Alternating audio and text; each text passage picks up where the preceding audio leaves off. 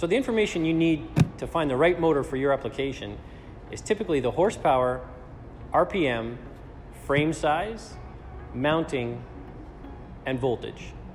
Now, what do those things mean and where do I find them? So every motor has a name tag associated with it. And on the name tag, we'll, you'll find all the information required. Uh, it tells you everything about the motor from an electrical standpoint as well as a physical standpoint. So every motor has a nameplate either on the top, um, sometimes they're located like this one, just above the connection box. They'll have an auxiliary tag.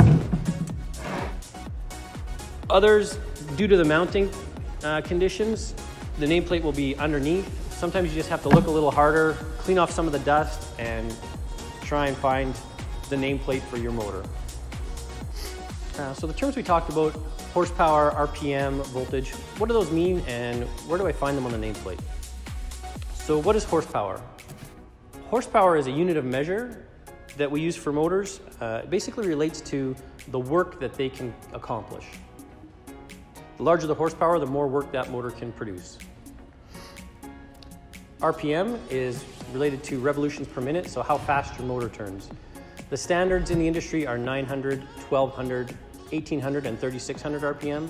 There are variations, but for the most part, that's what all motors or categories are rated in for revolutions per minute.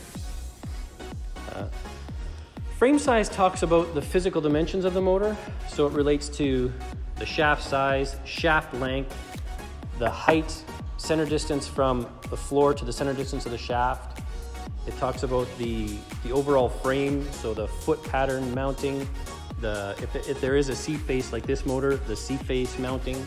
Um, and it's just a standard in the industry so that as long as I get a motor with a, say a 215 T-frame, I know it's gonna have uh, inch and an eighth shaft, it's gonna have mounting holes at this distance, at this length apart. So it's just standardized the industry, so it doesn't matter which manufacturer or which brand of motor you buy. If it's in the right frame, it will fit. Uh, the next one is talking about enclosure. So there's two main types of enclosures for motors. We have totally enclosed fan cooled. As you can see, there's no gaps in the frame for any airflow to get in. There's just a fan on the back that blows air over the frame. Or there's open drip proof. So if you look at this motor, there's holes in the frame. The airflow actually flows through the winding to help cool the motor off. Uh, and voltage. Voltage obviously relates to the power coming into your, the power supply to your motor. Uh, inside this spec, we also have to look at the phase. So there's typically two main types of phase for motors, single phase and three phase. Uh, most homeowners, uh, furnace motors, farm duty motors are all single phase. Industry typically goes to three phase. And the last item is mounting. So in all of our descriptions, uh, we have mounting, whether it's a C-face mount, so this would bolt straight into say a pump or a gearbox, or if it's a rigid mount, which just uses the feet of the motor and bolts to a, a base of some sort.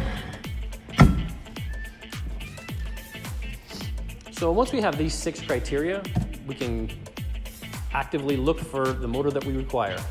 So if we hop on the website, you can see in our search box we have we have those criteria. Once you enter them, your result will pop up and you can go from there and decide whether you want a little more expensive motor, a little less expensive motor, um, if you need an explosion proof, say, or an IEEE for some applications, all the options will come up and you can uh, do your choice from there.